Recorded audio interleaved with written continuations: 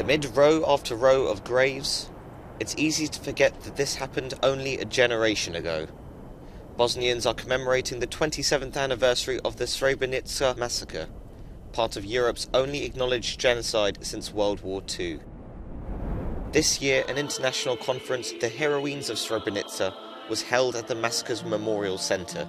The gathering focuses on how those women left behind found strength to fight for justice after being driven from their homes and witnessing their loved ones being taken away to be killed. The Srebrenica women have borne the biggest burden of this world, fighting for justice during the war and after the war. I am proud that we have also managed to bring up our children without feelings of hate or without feelings of revenge. And I think the women of the world should learn from us about this.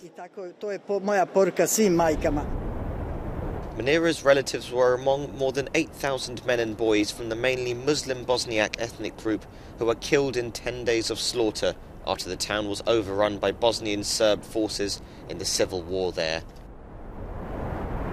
Here their names lie, never to be forgotten.